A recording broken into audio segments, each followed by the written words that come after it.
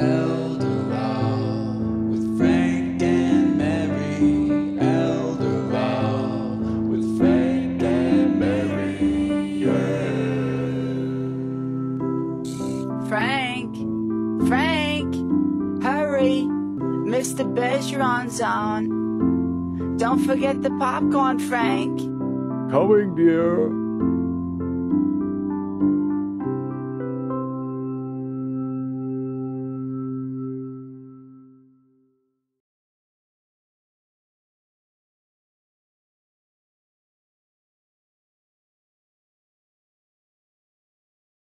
Uh, hello.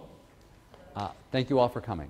Uh, my name is Arthur Bergeron. Uh, I'm an elder law attorney. I work at Mirick O'Connell. Uh, Mirick O'Connell is a big firm. There are 52 of us. There are 72 of us right here, or excuse me, there are 17 of us right over here in Westboro. Uh, I like that because this is all I have to do. Everybody else does something else that's kind of special.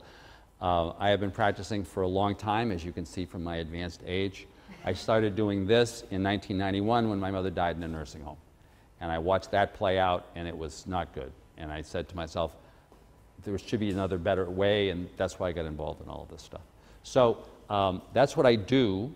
Um, uh, I ha- in the course of what I do, though, I've really come to appreciate that what I really do, people think when they're talking to an elder lawyer, they're talking about a whole variety of issues, but usually what they're talking about is Alzheimer's disease. They're talking about, and the reason why they're talking about it uh, is because a, it lasts for a long time and is kind of unlike many of the other major diseases, and B, because you can go broke from it. Um, th th that fact results from a kind of peculiar historical fact, uh, which is that Medicare doesn't cover it. Um, Medicare was designed to keep old people from going broke. Uh, in 1960, before Medicaid was, was passed, Medicaid was passed, I think 1965, before Medicare, Medicare was passed, 33% um, of all people in this country over age 60 were poor. That is an unbelievable number to think of right now, because that just seems so incredible. Right now, that number is between 6 and 7%. The major reason is Medicare. Uh, by that time Medicare passed, Social Security had already been around for over 30 years, but still, almost a third of Americans over 60 were poor. So Medicare really has kept a lot of people from being poor unless you have dementia, unless you have a disease that causes dementia. If you have cancer, Medicare will take care of it. They'll do, we'll do operations, we'll do biopsies, we'll do everything. Uh, if you have diabetes, same thing, we're going to cover you in the hospital. If you have lung cancer, um, but if you have dementia and so you need help dressing or going to the bathroom, right? Those skills are not, the skills needed to help you are not skillful enough to cause Medicare to be willing to pay for them, which is why um, people who have dementia are so concerned about going broke, which is why they're concerned about MassHealth and other issues. So that's why I'm kind of do what I do. So in the course of this, I find myself dealing, though, with a whole bunch of players who are involved in this, and one of the primary players are the folks from the Alzheimer's Association. Because what I do is totally, from a broader perspective, stopgap. I'm trying to help people who are worried about Alzheimer's now or who have it uh, and are worried about how to deal with it because it's not going to get cured over the next couple of years. I cannot tell people, nobody can tell someone who has dementia where they already have Alzheimer's that in their remaining lifetime there is going to be some way to slow this down to the extent, or certainly to reverse anything.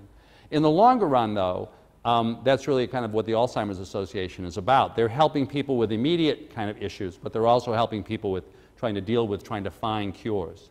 Um, so we're doing this set of presentations. I'm doing it with the Alzheimer's Association so you can meet them, and also with BayPath Elder Services. How many people here have heard of BayPath Elder Services? Raise your hand. Oh, not enough. So BayPath, and, and by the way, that camera is there because this will be rebroadcast on cable because, of course, so many of the families that are dealing with Alzheimer's early stages are not here because they're at home, because you've got caregivers and people who are at home, many of them who don't want to leave their home anymore because they're nervous to because they have early stages of Alzheimer's. So BayPath is, the, is a nonprofit um, ASAP, an Aging Services Access Point, or ASAP, um, whose purpose is to basically funnel federal and state dollars to you or to your uh, relatives who are elders and who need it. They are a nonprofit, they are your tax dollars at work. And so many of the programs to help families deal with Alzheimer's are administered by BayPath and they actually write the checks. So you, you want to be their friend, right? Nancy Sherman is here from, like, excuse me, Nancy Stevens is here from BayPath to talk to you a little bit about that. Um, then, because the point of this presentation is to talk about, so if you've got some signs that you look like they may be, uh, you know, the, the, the Alzheimer's type signs or dementia signs, but you're not sure, kind of what do you do? Um, and I think the folks from the Alzheimer's Association can help you talk about that.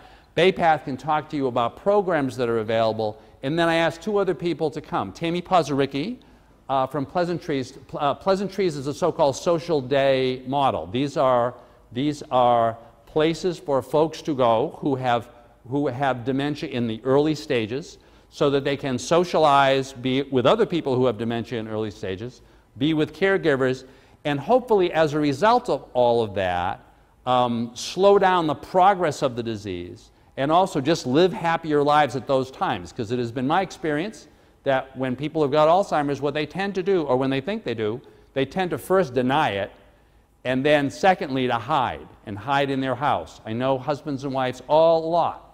Oh, we, we, don't, the, we don't see the kids anymore. They, you know, we don't really need to see them, you know, and we don't see our friends anymore because we don't, because we're kind of embarrassed. Because for many people, Alzheimer's isn't a disease, but an embarrassment. So I wanted to have Tammy talk to you about that program there were a number of these throughout Massachusetts. This is just the closest one, but I wanted you to get a sense of that, right? Um, um, then I also wanted to have Shelby Marshall talk to you because Shelby is, is involved in one of the many home care entities that provide home care uh, that are in this area. Um, there are a lot of them. And by the way, for those of you who are, who are interested in getting home care, the, one of the first people you want to talk to uh, is the folks over at BayPath because they are the single biggest vendor of home care services. They buy home care services for a whole bunch of people using state and federal dollars. So they know everybody, right?